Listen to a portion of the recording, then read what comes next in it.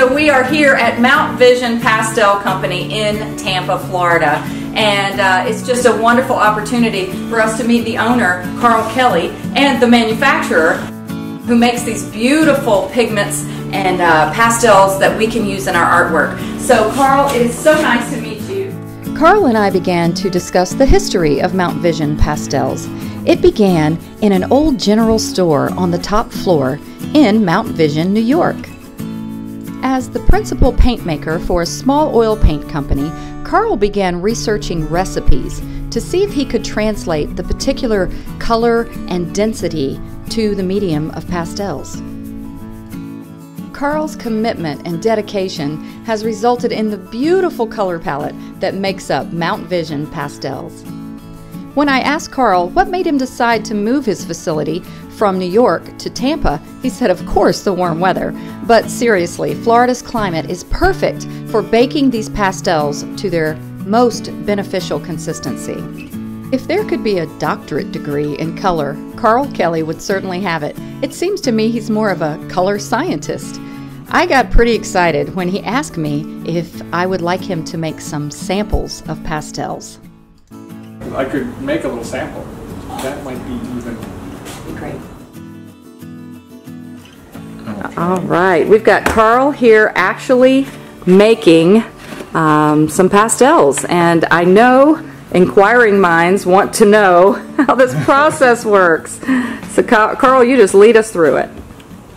All right. What I'm what I'm doing is making a um, sample color. Okay. You know, for one that I'm thinking of of adding to the line. Okay. So these, um, everything is done by weight and and or volume, you know, like a, you know, like of, of the liquid pigments. So I've so I've weighed everything out here, mm-hmm. and then I I have a light solution of basically water and a little bit of methyl cellulose. Wow.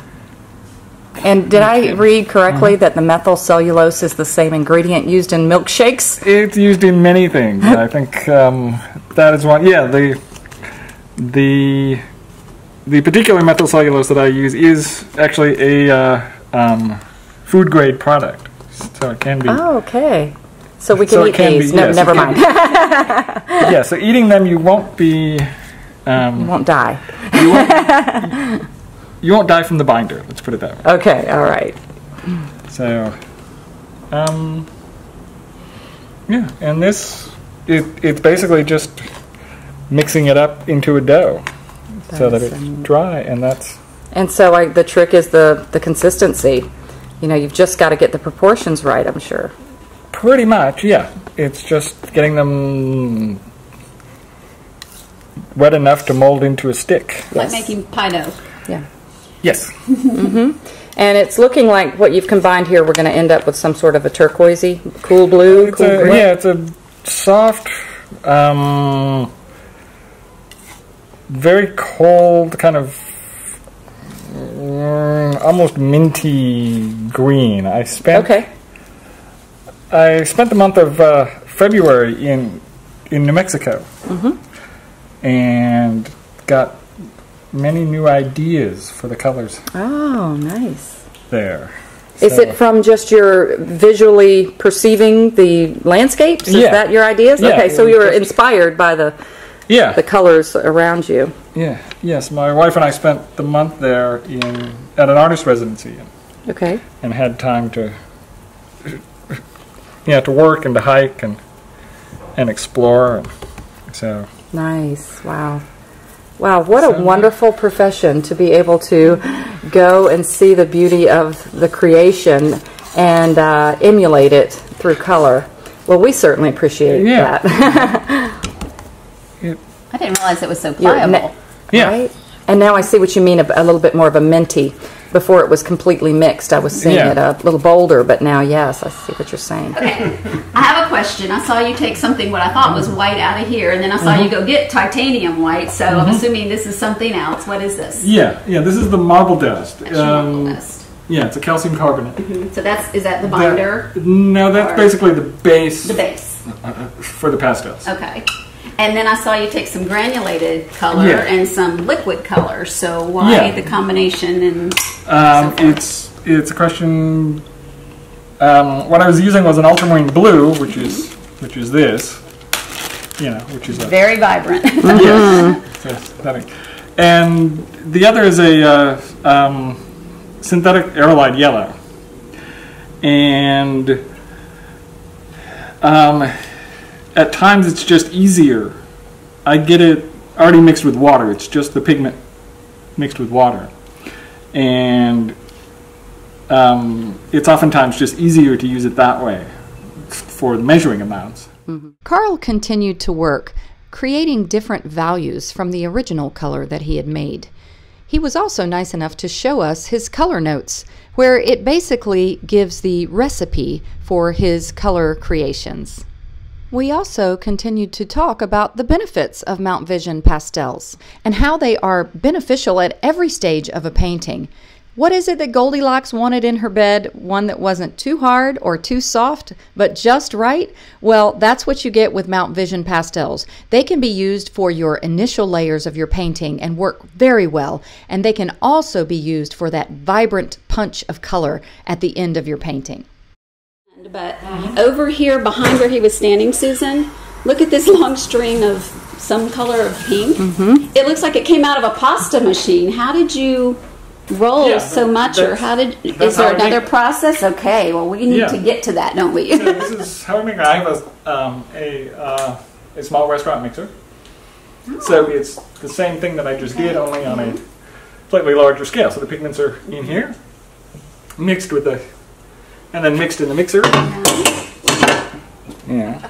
So they get mixed, you know, basically to the same consistency. right. Yeah, sort of as a cookie dough. And then I have a sausage stuffer. A sausage stuffer. I love it. Mm -hmm.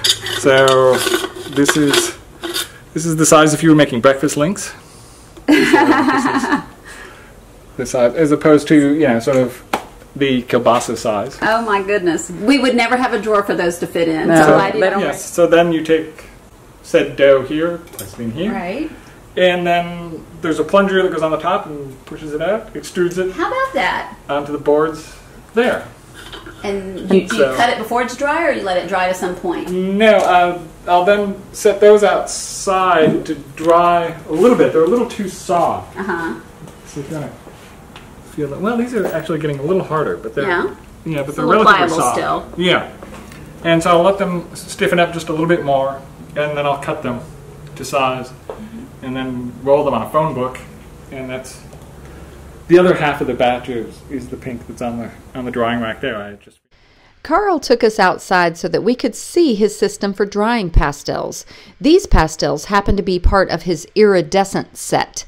In the sunshine, you could see the addition of marble dust, which makes for its beautiful sparkle. wanted to ask Carl when he came in was how he had all these put away and stored. And I want you to look at this. And doesn't this just make you go?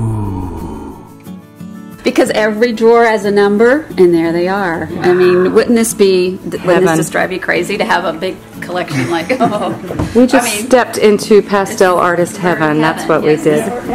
Carl, I think um, we would really love it if you would let us just bring our easels in here. Carl, what is what is the set that we're looking at Yeah. here? So this is this is the basic workshop set, a basic fifty piece set, sort of to get started with. You should notice it's got you know like the warm and cool primaries, Right. and then a nice range of neutrals and and also grays. Yes. So this would be good for someone starting out, Yeah, just to get started. You got a little bit of everything, and then yeah, um, yeah. So we start with a fifty piece set, and then we made another twenty five piece set that will work in um, in addition to yeah, those, in addition to these. and there's no duplicates. and there's no duplicates between them. Right. And then we make two other sets. Um, one a 25 piece set, which is more geared geared towards the landscape, and then another sort of more geared towards, portrait. figure. Okay, so that would be a great way for somebody just starting out Yeah. to start with the 50, and then based on, um, and then perhaps go with this uh, this next one here, and then based on what their preferences are, you maybe get the portrait or the landscape in Yeah, addition. yeah, That's- it gives you a nice a nice working palette. One of the things we wanted to ask you was what do you find that people like to order the most? What is one of your most popular sets? Well, the most popular set by probably a long shot of the Thunderstorm Gray ones that I made um, when I first moved down here to Florida. I was commuting between Tampa and Sarasota for uh, for summer, and I would be driving back every late afternoon, early evening, and you can just see all the thunderstorms coming in. And I got fascinated by by the colors. Look at these iridescents. Oh, I know you guys in Monet Cafe are going to be drooling over these. These are brand new. Brand new. Mhm. I saw them on the Dick Blick website, I do believe, but I don't think they're in their catalog yet. Wow. So he's hot off out with the them. uh, pastel press.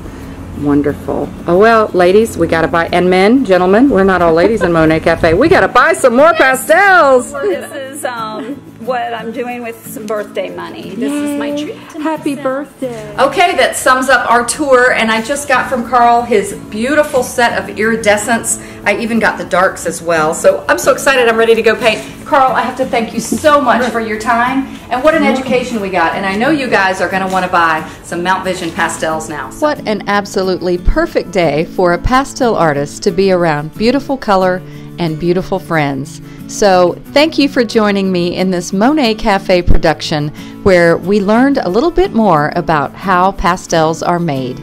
And, as always, happy painting!